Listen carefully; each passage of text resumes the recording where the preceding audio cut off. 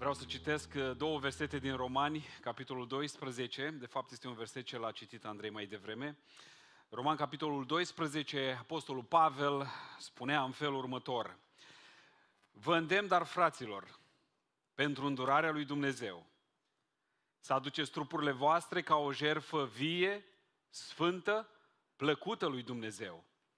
Aceasta să fie din partea voastră o slujbă duhovnicească să nu vă potriviți chipului veacului acestuia, ci să vă prefaceți prin înnoirea minții voastre, ca să puteți deosebi bine voia lui Dumnezeu, cea bună, plăcută și desăvârșită.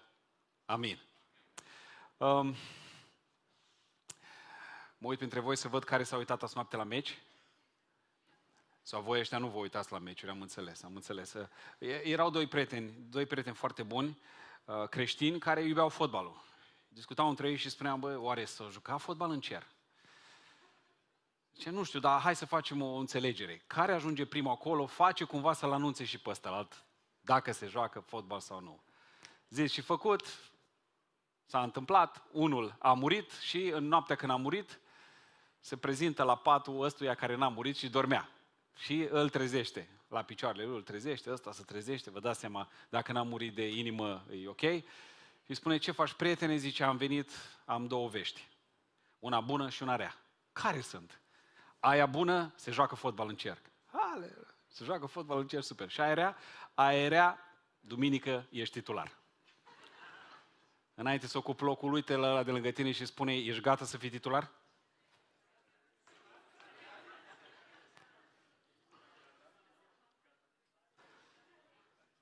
O, la biserică nu e macabru deloc să vorbești despre moarte, pentru că noi trebuie să fim oricând gata, nu-i așa? Se spunea mai, mai devreme aici despre... Uh, a căzut un microfon, stați știți, nu s-a întâmplat nimic, de pe scaun, buf, s-a dus jos. Um, se vorbea despre remarcabil și despre weekendul extraordinar pe care l-am, l-am avut împreună. Weekendul trecut, uh, șapte ani de Rema, Uh, remarcabil, Dumnezeu ne-a surprins într-un mod extraordinar. Ce sărbătoare minunată am avut, așa -i? Parcă l-am înțeles un puțin mai bine pe Petru când era pe muntele Transfigurării și voia să facă trei corturi. Hai, ce bine e aici, Doamne, ce fain e aici facem trei corturi și locuim pentru totdeauna în atmosfera asta faină, când ne strălucesc fețele. Doamne, ce bine este aici! Și el nu greșea chiar foarte mult, pentru că și psalmistul spune că voi locui pentru totdeauna în curțile Domnului. Noi am fost creați de Dumnezeu ca să locuim perpetu, permanent, în prezența lui Dumnezeu, în bucuria și în slava aceea. Dar totuși, ce facem după bucurie? Pentru că realitatea ne învață, zi, viața de zi cu zi ne învață că n-ai cum tot timpul să fii pe munte. nu e așa? Cum reacționăm după Rusalii? M-am gândit foarte mult la ucenici după Pentecost, că acolo la Pentecost pot să înțeleg. Um, e ușor să înțelegi experiența aceea cu Dumnezeu, uh, limbile noi, puterea pe care ai primit-o, Uh, uh, eficiența extraordinară în predica lui Petru, s-au pocăit 3000 de oameni, dar ce s-a întâmplat săptămâna cealaltă? Pentru că pe munte e ușor să înțelegi, dar ce facem când coborâm jos de pe munte? A, a, am vrea să fim tot timpul acolo, dar viața ne învață, experiența ne spune, ne arată că uh, Ehm, viața aceasta este sinusoidală, adică de sus în jos, ești pe munte, după aceea cobori în vale, experimentezi valea, iar începi să urci pe munte, iar e sus. După experiența muntelui, după ce strălucește fața, cum îi strălucea lui uh, Moise, cum mai trăiești? Cum mai trăiești? Există o boală care a fost descoperită uh, la soldații americani ce au, au venit din, din Vietnam și mai târziu Irak, Afganistan, se numește PTSD, Post Traumatic Stress Disorder, sau traducerea în românește ar fi tulburarea de stres post-traumatic. Și doctorii au observat că tinerii aceștia soldați care au fost acolo luni sau ani de zile, pe linia frontului, obișnuiți cu adrenalina, Uh, gloanțele care șuieră, bombele uh, toate tragediile pe care le-au văzut, când au venit de acolo într-un mediu calm, liniștit, în mijlocul familiei, ceva se, se întâmplă în creierul lor. Imaginează-ți de la tranșee, tancuri, bombe, deodată cu căruțul la Lidl. Cu nevasta și copii lângă tine și se nimerește ca unul în fața ta să fie obraznic. Ce credeți că se întâmpla soldatului american sau altor soldați care au fost în teatre de acestea de război? Există o, o, o, o boală, o problemă de adaptare. După adrenalină, după munte, după experiență, la coborârea jos în vale. După un high spiritual, cum răspunzi, cum experimentezi acest PTSD, este posibil.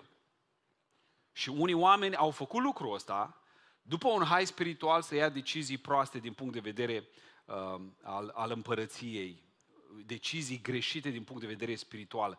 Pentru că răspunsul, preiubiților, este întotdeauna focalizarea energiei, focusul nostru trebuie pus pe asemănarea noastră cu Isus. Indiferent prin ceea ce trecem. Am învățat deja că viața nu poate să fie numai sus. Și slavă Domnului că nu, nu are cum să rămână numai jos ci întotdeauna trebuie să vedem unde suntem și să înțelegem. Americanul spune, now what? Ce facem acum? Și Pavel răspunde în Romani, capitolul 12, versetele acestea parcă sunt un răspuns la întrebările noastre. Ce facem acum? Ce se întâmplă după experimentarea muntelui? El spune, vă îndemn, fraților, pentru mila lui Dumnezeu, să aduceți trupurile voastre ca o jerfă vie, sfântă, plăcută lui Dumnezeu. Deci răspunsul nostru trebuie să fie aducerea trupurilor ca niște jerfe vii. Jerfe vii. Sună puțin ciudat. Cel puțin pentru evreul din secolul I, jerfa vie suna foarte ciudat. De ce? Pentru că jerfa în vechiul legământ trebuia să fie moartă. Animalul trebuia ucis, sacrificat și apoi adus pe altar. Pavel aduce vechiul în atenția noastră pentru a introduce noul. Și așa a făcut și Domnul Isus. Domnul Isus spunea, s-a spus în vechime să nu ucizi, dar eu vă spun, dacă nu mai spui fratelui tău, prostule, vei cădea sub pedeapsa genii. S-a spus în vechime să nu curvești, dar eu vă spun, dacă un bărbat se uită la o femeie și o poftește, a și prea curvit cu ea în inima lui. Hristos face același lucru, aduce vechiul ca să introducă noul. Pavel folosește aceeași paradigmă. În vechiul legământ, jerfa se aducea la altar, Dumnezeul Jehova, Dumnezeul evreilor, a introdus sistemul acesta de jerfe ca un răspuns la jerfele păgâne. În trecut, filistenii, uh, incașii, vikingii, chiar și geto-daci ăștia, de unde venim și noi, slavă Domnului pentru romani, uh, că ne-am mai civilizat puțin, și ăștia aduceau jerfe umane. Și Dumnezeu vine și spune, nu orice fel de jerfe este acceptată. Trebuie un, un, un tip specific de animal. Trebuie să fie o jerfă de genul acesta și jerfa trebuie întotdeauna ucisă. Pavel spune în nou legământ, nu mai ucidem pe nimeni. În nou legământ, trupurile voastre vii sunt o jerfă pentru Dumnezeu. Pentru că Dumnezeu locuiește în voi. Voi sunteți templul Duhului Sfânt. Voi trebuie să aduceți trupurile voastre ca niște jerfe vii. Prea iubiților, întotdeauna vă spun lucrul ăsta, spiritualul este legat de fizic. Nu există nicio discrepanță între ele. Ele sunt strâns, strâns legate. Ce se întâmplă în mediul fizic are reverberații întotdeauna în mediul spiritual. De asta Pavel spune în Corinteni, nu voi lua mădularele acestea, adică trupul, și uh, îl voi da unei curve pe care, care lucrează cu partea cealaltă, demonică. Pentru că ăsta este templul Duhului Sfânt. Ce faci în fizic? Are reverberații, se răsfrânge asupra spiritualului.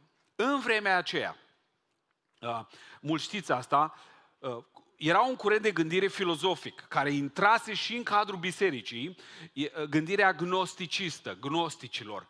Ăștia ce spuneau? Trupul este prin definiție rău, păcătos. Dumnezeu nu are nimic de a face cu trupul. Duhul pe partea asta la altă, e, ăsta e spiritual, Dumnezeu este Duh. Cu alte cuvinte, cu trupul pot să fac ce vreau eu, atenție, corinteni, am studiat acolo ce făceau ei cu trupurile, pentru că cu trupul ăsta oricum merge în pământ, oricum este păcătos, dar cu Duhul sunt al lui Dumnezeu. Asta este o, o erezie pe care și Ioan, și Pavel, și Petru au adresat-o în epistole, în scrisorile lor către biserici. Așa că oamenii cu gândirea greacă își permiteau să facă cu trupul tot ce voiau ei, crezând că cele două nu se amestecă. Pavel, cum spuneam, vorbea, vorbește pe larg și am studiat asta în 1 Corinteni. Și el spune, nu poți să fii și creștin și curvar. Nu poți să fii și cu blestemul și cu binecuvântarea. Astea două nu se amestecă. Gnosticismul modern, pentru că să vă spun ceva, orice demon vechi este unul nou. Gnosticismul modern are de face cu ce faci tu în privat. N-ați auzit asta? Bă, dacă ce fac eu în privat nu rănește pe nimeni, e treaba mea personală. Cum ar fi bună oară pornografia. Ce fac eu în privat nu interesează pe nimeni, eu nu rănesc pe nimeni. Și oamenii nu înțeleg că mediul acela are un efect demonic, diavolesc, asupra acelui care consumă conținutul acela. De unde știm? Pentru că există legături demonice pe care le duci o viață întreagă dacă nu te eliberează Isus. Ceea ce faci cu trupul se răsfrânge asupra spiritului. Asta este gnosticismul modern. Există un soi de gnosticism, atenție mare, în creștinismul modern, care este mascat așa de religie, care spune că spiritualul nu ar trebui să implice emoțiile. Ați auzit-o pe asta? Nume, spiritual. Noi raționăm totul. Noi nu, nu ne implicăm cu emoțiile. Și sună așa, nu emoțiile ne conduc pe noi. Noi suntem ființe spirituale, noi judecăm, raționăm, doctrină pură, teologie curată, emoțiile care îți sunt create de o cântare nouă, o rugăciune, o rostire în adunare, emoțiile astea sunt rele fiindcă sunt ale trupului. Ăsta este gnosticismul intrat în creștinismul modern. Emoțiile nu sunt bune fiindcă sunt ale trupului. Și am mai vorbit noi despre asta. Noi suntem trup, suflet și duh. Dumnezeu trebuie să fie Dumnezeul tuturor. Dumnezeul tuturor. El este suveran, El este peste toate, pentru că între ele există o, core- o corelare. E drept că nu ar trebui să fim ghidați de emoții, însă emoțiile sunt parte din ceea ce suntem noi, din pachetul acesta. Dați-mi voie să vă spun, Isus a fost emoțional. Da, da, a plâns, a experimentat și el depresia, a fost jos, a fost sus, a fost uh, uh, emoționat, a fost uluit, uh, s-a mâniat, a fost impresionat, a fost uluit și, cum am spus mai devreme, poate chiar și depresiv. Trebuie să ieșim din mentalitatea aceasta săracă, sărăcită de sola rațiunea. Prietenii mei știu de ce. Sola rațiunea. Domnule, nu mai rațiunea. Nu ne interesează nimic, nimic altceva. E săracă. Această mentalitate este o mentalitate săracă care îl pune pe Dumnezeu într-o cutie. Dumnezeu este Dumnezeul și a emoțiilor, și a sufletului, și a Duhului, și a trupului. Iisus a trăit în trup fizic și a trebuit să înfrângă firea, trupul. A suferit de foame, de sete, a experimentat durerea și trădarea, a murit în trup. Dar a înviat tot în trup pentru a proclama victoria asupra firii și asupra domeniului spiritual. Așa că El este Domnul trupului, a sufletului și a Duhului. Puteți spune amin la asta. Așa că trupurile noastre, spune Pavel, trebuie să devină niște jerfe vii spirituale. Trupurile noastre sunt jerfele plăcute la adresa lui Dumnezeu. Da? Pentru că totul, spuneam eu și spun des asta, totul este spiritual. Totul este spiritual. Trupul meu trebuie să am grijă de el. Cu, cu ce, ce pun în el, ce pun în minte, cu ce mă hrănesc fizic, spiritual, emoțional, ce fac cu trupul meu, pentru că nu mai aparține mie, ci este templul Duhului Sfânt. Are un nou stăpân.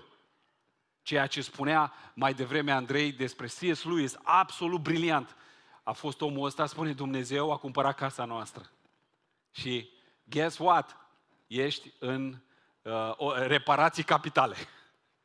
Reparații capitale. La unii ne ia acoperișul, la, fi, la practică, tot acoperișul, dar nu e nicio problemă că el are lucrurile la interior, în primul rând. Și schimbă complet. El este stăpânul. Cum? Ai să spui, domne, cum putem noi să devenim jerfe vii? E o întrebare foarte legitimă. Și răspunsul lui Pavel este următorul. Prin non-conformare. Să nu vă potriviți chipului veacului acesteia. Să nu vă potriviți. Cum? Prin non-conformare. Adică să nu fii ca ceilalți. Americanul ar spune, dare to be different. Îndrăznește să fii diferit. Și hai să mă întreb, ok, Cristi, dar cum să fiu, să nu mă conformez? E foarte simplu, căsătorește-te. Fă copii. Rămâi cu soția ta până la sfârșitul vieții sau cu soțul tău. Asta înseamnă să nu te conformezi. Pentru că lumea în care trăim ne spune exact invers. Exact invers. Noi trebuie să fim rebelii aceia frumoși pe care îi iubește Dumnezeu. Și rebelii în ziua de azi se căsătoresc, au copii și rămân căsătoriți. Când locuiam în Statele Unite, o întrebau americanii pe cela. O întrebau, ziceau, câți copii ai? Trei. Wow, trei? Ok, cu același bărbat? Da. Hai de mine. Pentru că din punct de vedere cultural era șocant pentru ei ca o femeie să aibă trei copii cu același bărbat. Bă, dacă era cu doi sau cu trei, erai normală. Normală. Dar dacă ai cu un singur bărbat cu care ești căsătorit 20 ceva de ani, wow, ceva e, e problemă. E problemă. Pentru că nu te mai conformezi cu ceea ce promovează lumea. În Corint, neconformarea trebuia să aibă de-a face cu templu. Pentru că corintenii se conformau și mergeau la templu, jerfeau la templu, se închinau în templu. O gândire modernă, corinteiană, ar fi o gândire orientată întotdeauna pe plăcere. De vreo, știu eu, câțiva ani umblă acest dicton, dacă îți face plăcere înseamnă că e bun. L-ați auzit pe asta, nu? Dacă îmi place înseamnă că e bun. E foarte interesat dictonul ăsta, uh, că toți suntem în, în, în luna asta haioasă, cu multe culori, când ți-e frică să ieși din casă sau să mai, te mai duci pe la magazine, că vezi multe culori, e luna cică a lor. Uh, uh, ăștia care spun dacă îmi face plăcere înseamnă că este ok. Dar e interesant că noi nu aplicăm în toată viața noastră acest, această zicere. Um, ne, ar face plăcere la șase dimineața când sună ceasul să rămânem în pat, nu-i așa? Am putea? Nu poți, că rămâi fără job. Dar e foarte plăcut la șase dimineața să închizi ceas, ha, să te întorci pe partea cealaltă. E super plăcut, face plăcere. Dar nu este folositor, nu este bun. E plăcut să mănânci dulce. Cui îi plac prăjiturile de aici? Ridic o mână. Ceilalți, Domnul să vă ierte, rămâneți la sfârșit la mărturisire că n-ați mărturisit tot. Da, ați putea mânca prăjituri toată ziua? Unul de aici l-am văzut? Da, da, da. Ok, și după o lună ce se întâmplă cu trupul tău? Problemă. Pentru că nu tot ceea ce face plăcere este automat și bun. Multe lucruri sunt plăcute, dar nu toate ajută. Pavel spunea, toate lucrurile îmi sunt îngăduite. 1 Corinteni, capitolul 10. Dar nu toate îmi sunt de folos. Toate lucrurile îmi sunt îngăduite, dar nimic nu trebuie să pună stăpânire pe mine. Atenție mare ce faci. Dacă ceea ce faci și îți face plăcere te leagă, te înrobește, ăla nu este de la Dumnezeu. Ăla nu este de la Dumnezeu. Prăjitura e bună, dar once in a blue moon. Sau pentru cei care nu înțeleg franceza, odată când o fi ea, la sărbători. Da? Nu în fiecare zi, Nu în fiecare zi. Somnul puțin mai mult e bun. Știu eu, sâmbăta. Sâmbăta, nu duminica. Duminica se vine la biserică. Duminica este ziua închinată Domnului. Întotdeauna somnul este și bun. Atenție mare, am vorbit atâta timp în bisericile noastre, în familiile noastre, împotriva păcatului, dar nu am vorbit despre faptul că păcatul este plăcut la comitere, oameni buni. Că nu l-ar mai face oamenii dacă ar fi neplăcut. Păcatul, păcatul este plăcut la comitere. Mai ales că uh, vine în urma interdicției. Uh, aia crește și mai mult plăcere, dar Biblia spune așa, păcatul este plăcut pentru o secundă, pentru o clipă. După asta vine nota de plată. După asta vine durerea. Da, poți să nu te duci la muncă când sună ceasul la ora 6 și îți merge o zi, două, trei, dacă ai un boss mai îngăduitor, poate o săptămână. După asta vine nota de plată. Ești concediat. Da, poți să mănânci numai zahăr și numai prăjituri și ce-ți place ție și poate o să-ți meargă în funcție de vârstă și de metabolism, o duce o anumită perioadă, dar după aceea vine nota de plată. Problemă? Păcatul este plăcut la comitere. Și pentru o perioadă scurtă, ești ca soldații aceia pe front cu adrenalina și când s-a dus, vine nota de plată și plata păcatului, zice Biblia, este ce? Spuneți voi. Este moartea. Este moartea. Mă uitam săptămâna asta cu celălalt la documentarul despre Arnold. Um, a apărut un documentar nou pe Netflix. Uh, nici nu trebuie să vă mai spun care e Arnold, toată lumea știe cine e Arnold. Un om absolut genial, puternic, cu, cu o, o determinare incredibilă și mă uitam la viața fantastică a acestui om. Viața lui este o viață de film. Uh, născut în Austria, uh, într-o familie săracă și a pus în cap să fie cel mai bun culturist al uh, planetei și a fost 8-9 ani la rând Mr. Olympia. Și după când era prin anul al șaptelea, al optelea de fiind cel mai bun, a spus, gata, m-am plictisit, îmi trebuie altceva și a zis, vreau să devin un star de televiziune. Și ăștia din jur îi spuneam, bă, dar ai și accent, ești și mai ciudățel, așa, arăți, parcă zici că ai mâncat o vacă întreagă. Cum vrei să ajungi tu? Și ăsta zice, nu, trebuie să ajung cel mai, cel mai cunoscut actor din lume. Și a ajuns cel mai cunoscut actor din lume, toată lumea știe cine e, cine e Arnold. După ani de zile în care a stat în topuri și făcea numai filme de zeci de milioane, uh, uh, la un moment dat zice, gata, m-am plictit și de asta, ce mai fac? Hai să mă fac politician și mă fac guvern... Maxim ce poate ajunge un imigrant în Statele Unite, guvernatorul statului California, care uh, este un stat extrem de bogat și extrem de mare și a ajuns. A ajuns. Era, este un om care și-a pus în minte un vârf și l-a, l-a, l-a atacat și a ajuns acolo. Numai că a picat la cel mai important test al vieții, și anume familia. A făcut un copil din flori cu uh, una din cameriste. Și zicea el, uh, oriunde se va vorbi despre mine, se va spune despre succese? Da, automat se va spune și despre gafa asta fatală. Zice, am făcut eu multe greșeli, da, asta este, asta este una fatală. Și acum locuiește la 73 de ani, cu un măgar, un ponei și un câine în casă. Ok? Păcatul e plăcut la început, dar după aceea vine plata și plata este moartea. Există o nouă conformare a noastră. Pavel spune, nu vă conformați. Nu, nu faceți ce fac ceilalți. Există o nouă conformare a creștinului din secolul 1. Știu că mulți astăzi spun, băi, noi nu trebuie să fim diferiți, pentru că, pentru că trebuie să ne asemănăm cu ceilalți și ceilalți să vină cu noi și să-i chemăm unde? La ce? La o nouă religie? La o nouă gașcă? La un nou grup?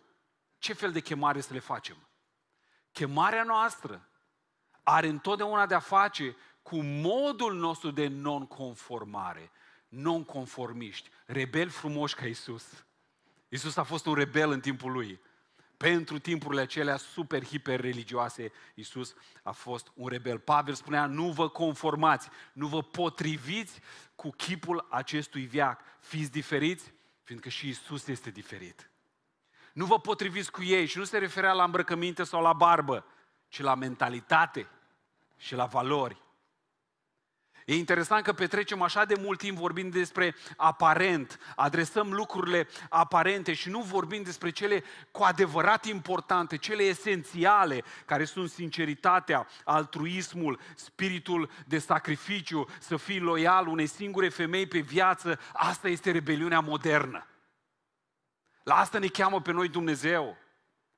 Asta ne spune Pavel acum, după ce ai fost sus pe munte, ce faci jos în vale? Te potrivești după chipul lui Isus, nu după chipul lumii. Înveți să fii un rebel adevărat. Pentru că un copil care are un tată loial acasă, asta e imaginea lui pentru Dumnezeu. Dacă tata este loial nouă și mame, înseamnă că Dumnezeu din cer este la fel, pentru că în copilărie tatăl este Dumnezeul copiilor, pentru cei care nu știați. Și toate acestea se obțin cum? Cum? Prin transformare. Transformare. Pavel spune așa, ci să vă prefaceți prin înnoirea minții voastre. Pavel în niciun caz nu spune aici să simulăm, ci sensul are de transformare, să fiți transformați. Pentru cei care sunt fani seriei Transformers a apărut uh, al cincilea. Acum am fost în weekend cu cu David și am văzut pe roboții aia făcuți pe calculator care din mașini se fac roboți și din roboți se fac mașini. Wow! Absolut uluitor. Două ore și ceva mi-au făcut creierii tăiței. Mi-a trebuit să mă rog 10 minute după ca să-mi revin. Uh, dar cuvântul pe care îl folosește Pavel aici cu referire la transformer, să vă transformați, este metamorfo. De aici vine metamorfoză. Ați fost vreo doi la ora de biologie, stați așa, că vă prind acum. Ce înseamnă metamorfoză? Unul din cele mai uh, faimoase exemple de metamorfoză uh, din lume este transformarea omizii în fluture. O vedeți? Ok, după eclozarea dintr-un ou mic, omizile mănâncă aproape constant una, două săptămâni, stochează suficientă energie pentru a începe metamorfozarea. Apoi atârnă cu susul în jos pe o ramură, da? Se dezvoltă o crisalidă și încep să piardă din cetul cu încetul pielea de umidă. După câteva săptămâni, atenție, după ce există procesul acesta numit metamorfoză, fluturile adult iese din crisalidă, vedeți, fluturile tânăr încă este acolo, atașat, dar adultul iese din crisalidă pentru a începe un nou ciclu de viață. Ok? După ora de biologie, fiți atenți la mine ce vă spun. Ascultă bine. Nu poți, oricât ai încerca, să faci o omidă să zboare. N-ai cum. Nu, este imposibil. Poți să o antrenezi. Poți să o duci la cursuri de dezvoltare personală. Uh, la seminarii despre zbor sau la tabere unde se exersează zborul. N-are cum să zboare. Știți de ce? Nu are aripi. Nu are aripi. Este la stadiul de umidă. Prin comparație. Nu poți să faci dintr-un om neregenerat un creștin. Poți să-l duci la conferințe creștine? Poți să-i arăți versete din Biblie, să-i dai și cu Biblia peste cap? Poți să-i trimiți cântări pe YouTube care pe tine te-au, ha, te-au răvășit, mai ales acum toți sunteți cu Betania Dublin, trimiți. Băi, eu nu înțeleg. Cum pe mine, mă, și pe ăsta nu-l atinge nimic? Păi nu poate să zboare ombul. N-are aripi. Este încă la stadiul de umidă. Oricâte sfaturi îi da, solicitate sau nesolicitate. Sfatul meu să-i dai numai sfaturi solicitate. Că dacă nu devii foarte agasant și enervant. Ok? Dacă îți solicită sfatul, dă el. Dacă nu, iubește și fă ce poți pentru el. Dar nu încerca să faci umida să zboare. Și ai să mă întrebi, și cum începe procesul ăsta? Ce debute, ce se întâmplă ca să înceapă procesul acesta de transformare de la umidă la fluture? Atenție bine, vă uitați la mine? Numai Duhul Domnului este Cel care schimbă inima. Numai Duhul lui Dumnezeu e Cel care inițiază sparcul, scânteia, care debutează această transformare.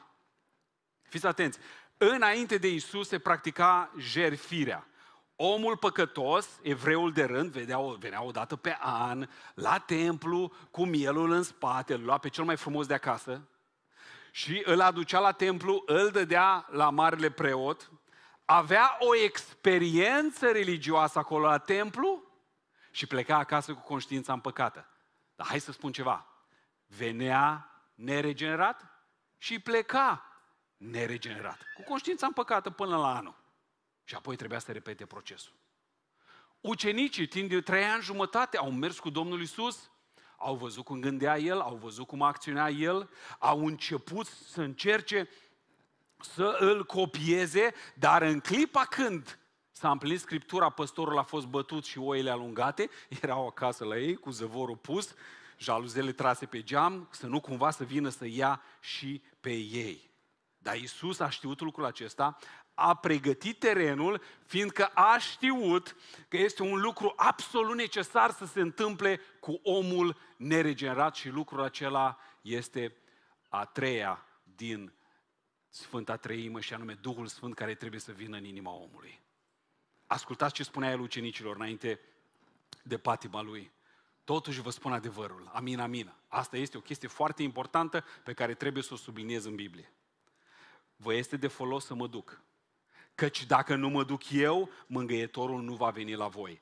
Voi v-ați pus toate speranțele în mine, în prezența mea fizică. Asta v-a spus, voi ați crezut că merg la Ierusalim, mă fac împărat, vă fac pe voi miniștri și așa mai departe. Nu vă este de folos asta, ci vă este de folos ca să mă duc, ca în locul meu să vină Duhul lui Dumnezeu. Ok? Și de ce este așa de important lucrul acesta? Pentru că El va veni, da? Și va dovedi lumea vinovată în ceea ce privește păcatul, neprihănirea și judecata în ce privește păcatul, fiindcă ei nu cred în mine, cine? Lumea, ei nu cred în Isus. În ce privește neprihănirea, fiindcă eu mă duc la Tatăl și eu sunt neprihănirea voastră, cei care cred în mine iau neprihănire de la mine, eu mă duc la Tatăl și sunt acolo ca mărturie că am plătit pentru păcatele voastre, da? Și în ce privește judecata, fiindcă stăpânitorul acestei lumi este judecat. Ați auzit? Nu noi suntem judecați, că trăim noi nu suntem judecați, judecata e după, acum este judecat stă, stăpânitorul acestei lumi. Mai am să vă spun multe lucruri, dar nu le puteți purta acum, zice el. De ce? Sunteți pe la început, sunteți omiduțe. Voi nu înțelegeți. Da? Dar le veți scrie și le veți înțelege mai încolo. Când va veni mângâietorul, paracletul, avocatul, susținătorul, Duhul adevărului, El are să vă călăuzească în tot adevărul, pentru că El nu va vorbi de la El, ci va vorbi ce îi va, și vă va descoperi ceea ce îi va spune Tatăl. Binecuvântat să fie Dumnezeu. Larva se transformă în fluture după ce Duhul Domnului îi atinge inima. Dar atenție mare! Este un proces. Trebuie să avem răbdare în biserică. Sunt și larve, sunt și larve care încep să, să lea, lepe de pielea încetul cu încetul, sunt și fluturi. Dar slavă Domnului că sunt oameni în procesul de metamorfozare. Pavel spune, indiferent prin ce trece astăzi, că ești sus, că ești în vale, că urci sau mai cobori din punct de vedere emoțional. Ascultă-mă bine ce spun, trebuie să te transformi, trebuie să fii în procesul acesta de metamorfozare. Pentru că atingerea Duhului este ceea ce pornește acea scânteie a transformării noastre. Dar odată ce ai fost atins, să știi că procesul durează și doare. Ascultă-mă bine ce spun, procesul durează și doare. Cum se spunea despre casă mai devreme, mai dărâmăm un zid, mai schimbăm acoperișul, schimbăm total fața, pentru că asta este. Dumnezeu a intrat în casa Lui, noi suntem în casa noastră, tupurile ca jerfă, și face remodelare completă. Nu va fi ușor și trebuie să avem răbdare și cu noi înșine și cu cei de lângă noi. Este un proces. Durează și Trebuie să înțelegem că de fapt ei sunt, cei de lângă noi, în procesul înnoirii minții, oameni buni. Procesul înnoirii, înnoirii minții. Cum facem lucrul acesta? Pavel spune, prin înnoirea minții. Trebuie să vă prefaceți prin înnoirea minții voastre. Creștinismul Nu este despre reguli, acordeoane, botezuri și batice. Creștinismul este fabrica de înnoire. Creștinismul nu ne face puțin mai buni, ci ne face noi, complet, de la umidă la fluture, regenerare completă, totală. Nu se întâmplă peste noapte, ci este un proces care doare. Singura uzină de transformare este biserica. Este mediul unde lucrează Duhul lui Dumnezeu. Eram mort și acum sunt viu. Eram larvă și acum sunt fluture, datorită lui Isus Hristos, a Duhului Sfânt. Nu mai trăiesc eu, ci Isus trăiește în mine. Casa nu mai este a mea. Nu pot să fac orice cu casa asta. Nu pot să bag în, în ea droguri, nu pot să bag alcool, prostituție, uh, uh, uh, pornografie, pentru că asta nu mai aparține mie. Și trebuie să curăț trupul ăsta. El este templul Duhului Sfânt, aici locuiește Dumnezeu.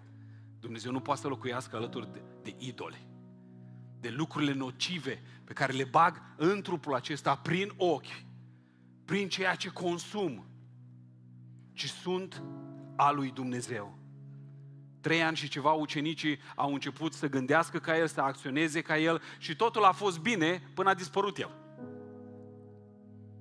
Și el spune, nu mergeți nicăieri până nu primiți Duhul meu cel Sfânt. El este puterea transformatoare. El este cel care inițiază transformarea, cea care metamorfozează. Acum să fim schimbați. Asta spune Pavel. Indiferent prin ce treci, atenție mare, este momentul să fim transformați. Și Pavel spune, trupurile voastre trebuie să fie curate, dedicate Domnului. Și nu se referă la apă și să, săpun, deși și alea sunt necesare. Se referă la curățate în sângele lui Isus. Templele Duhului Sfânt, unde nu intră alcool, nicotină, pornografie, chimicale, este casa lui Dumnezeu, o simt curată, nu mai este a mea. Este casa lui. Sufletul meu, emoțiile mele le aduc la cruce. Plâng când trebuie să plâng. Dumnezeu a lăsat, e natural să plângi, e bine să plângi. Da? da? Nu ești mai bărbat dacă nu, nu, nu plângi. Ești un bărbat naiv și prostuț dacă nu plângi când trebuie să plângi. Ascultă-mă bine. Ca ai să plângi când nu trebuie să plângi. Plângi când trebuie să plângi. Râd când trebuie să râd. Isus a fost un tip foarte funny, man. Dacă nu înțelegeți asta, n-ați ați citit Biblia degeaba.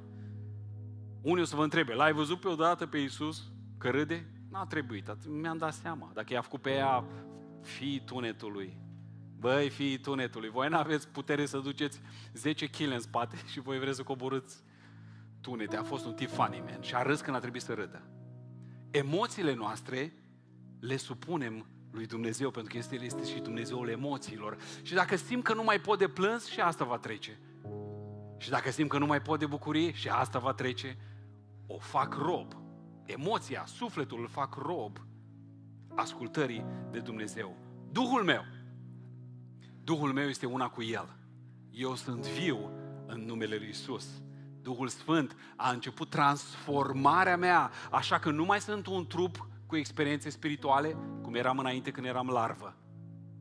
Toată săptămâna făceam ce voiam eu, veneam și eu la biserică și aveam o experiență spirituală, la o conferință, mamă, ce fain a fost!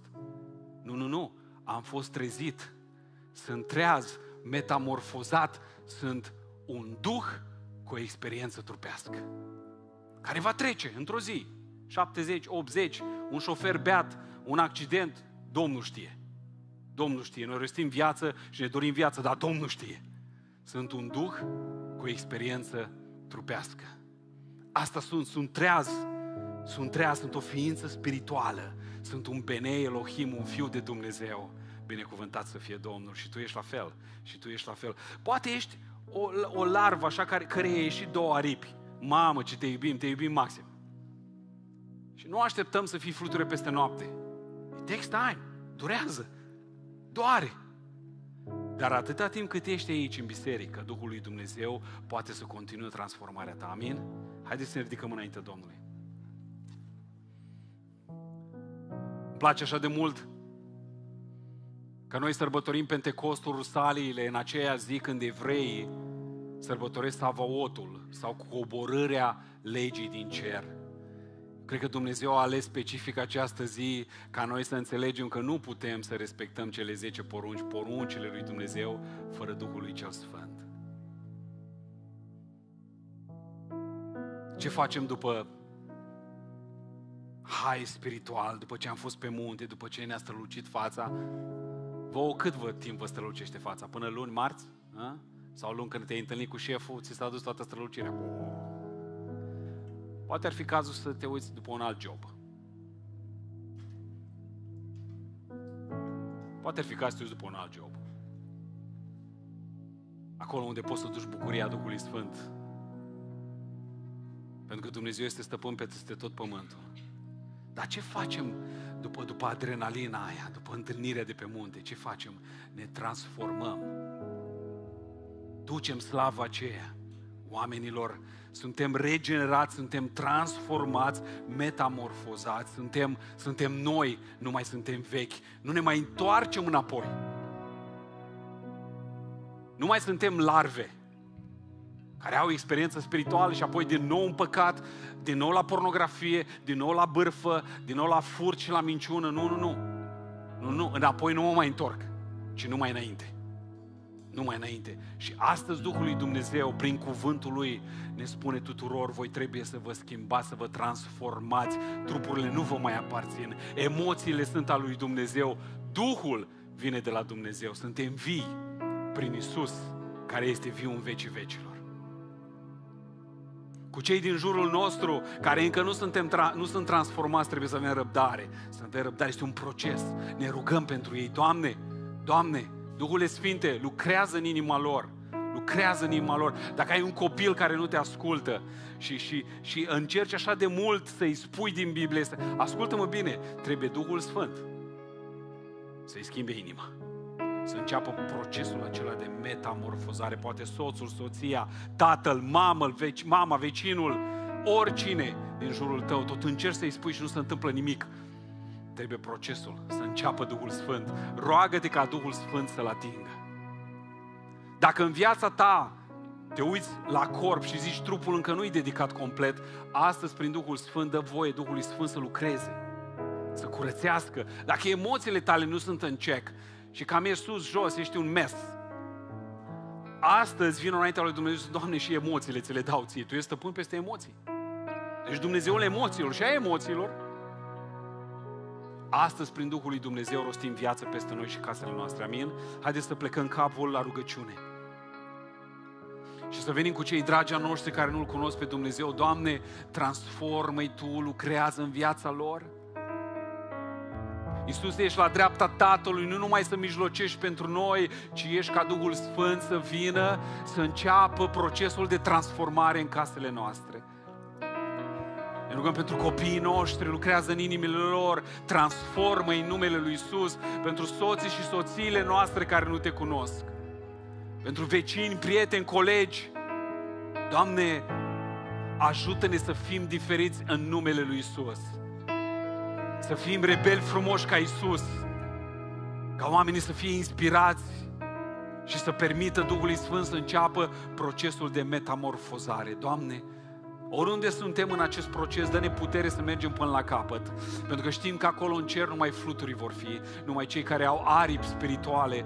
Doamne, Tu ne dai această posibilitate prin Duhul Sfânt în numele Lui Isus, acum tuturor. Și îți mulțumim că ești Dumnezeul nostru. Te celebrăm, te binecuvântăm ca Tatăl nostru, ca Mântuitor al nostru și ca Dumnezeu, Duh, care ne susține și ne trezește.